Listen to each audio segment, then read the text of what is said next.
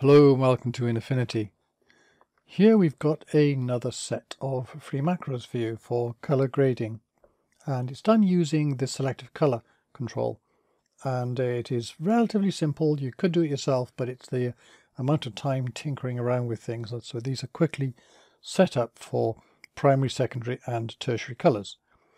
The way to download them is simply to go to the links below look for the download link and you can always get to the resources as well. And or then go to the library and import macros to import the file or just drag and drop the .af macros file onto the interface here. And what you get is something like this. So I'm going to show you how it works and then I can show you some a real example. So what it's got here is down here it says monadic monadic simply means one color. So it's one color being uh, adjusted as you'll see there's RGB and a simple and a, and a more extreme version of each. And then the same thing down here for the tertiary colours. So you've got 12 colours altogether and two variants on each, so you've got 24 different grades. So you'll see immediately what happens when you click this. Um, this file, by the way, can also be found in the resource section in the test cards. Download that, you'll find this here. So, so if I click on the red here, See the way the red has pushed out here, that means anything orange will become more red. Anything in the rose area could become more red. And what you've got is controls here. And you can just hit apply and accept them as they are. Or you can play around it here. And there's rotate and shift. You can see immediately if I change this, what happens. If I, if I move it to somewhere else, you can see it kind of rotates it. It's the nature of the macros here that it doesn't do it live as I drag this. You could let go. But then and shift, or shift the colors within that.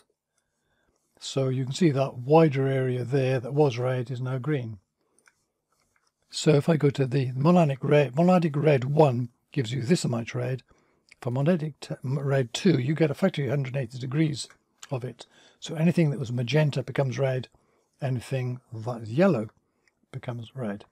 You'll also note in here that things like the whites, the blacks and the greys are not lost. That's a feature of selective colour where the colour and the tones are separated. The strength on this, by the way, is simply the opacity. When I apply this, then it's the, the strength is just this opacity here. I can open it up here, and here we've got the rotate is an HSL that simply shifts the hue beforehand. You can see that rotate there. The shift this, if I rotate this a bit, you can see here. Then the shift afterwards, the grade is the tweaking to make the red half the color here and so on. If I go to the shift afterwards, then you'll see here, this is changing the colors within that red area. So it's, it's that shifting the colors there. And all the macros have got these ends, so it allows you to tweak the colour. That's the bottom line.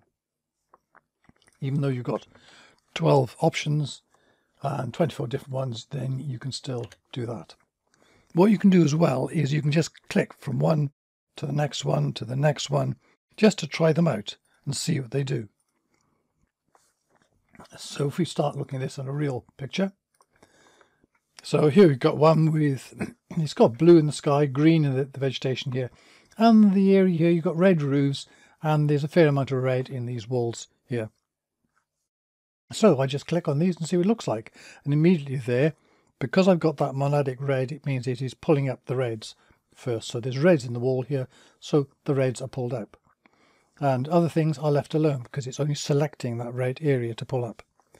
Monadic red 2, you get more reds. Of course, this looks a bit high here, so I can bring down the strength here. You have to do it a click at a time.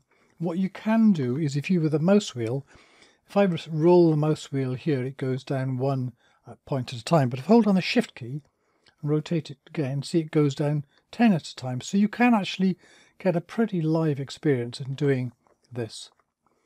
Click apply and you'll keep it. Click on that and hit delete or to, to, click on the tick there and as you can see before and after you can also click it hit delete and get rid of it. So it's very very simple to go through these just trying them out one after another. So you can get some quite strong effects here magentas and yellow and then down to the tertiary colours. Go through oranges lime. Lime is is yellow green spring is a cyan green.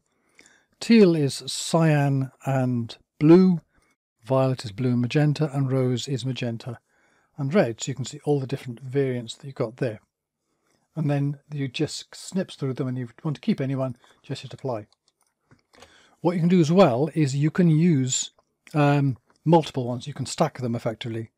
So if I say orange 2 which is the strong orange just hit enter to apply that and then teal 2 and hit enter to apply that I've now got a very strong teal and orange effect and I can just go to these click on that hit delete twice to get rid of it I could go up here and say just the, the monadic red one, green one. Right, let's go to red one, hit enter, green one, there we go, hit enter, and blue one, hit enter. Now we've got a strong RGB scheme. So that's it. It's very, very powerful. Lots of things you can do with it. You know, you can always go back and tweak all the little bits. So hope that was useful and thank you very much for watching.